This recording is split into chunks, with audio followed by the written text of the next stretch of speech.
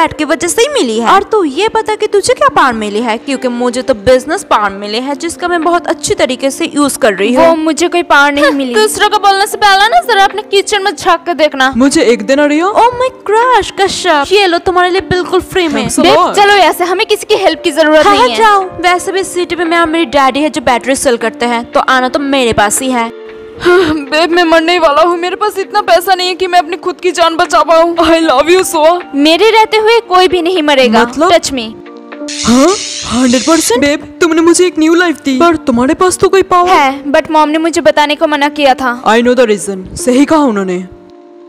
देखना बेब एक दिन उस रिया की बच्ची को तुम्हारी तलवे चाटनी ही पड़ेगी। मुझे भिखारी बोला ना? है यही वो लड़की है ना जिसे कोई पार नहीं मिली? हाँ पता नहीं ये अभी भी कॉलेज में क्या कर रही है। गाइस मैं यहाँ हूँ because I am student useless कही की। मुँह बंद कर अपना। मेरे गर्लफ्रेंड को बैठ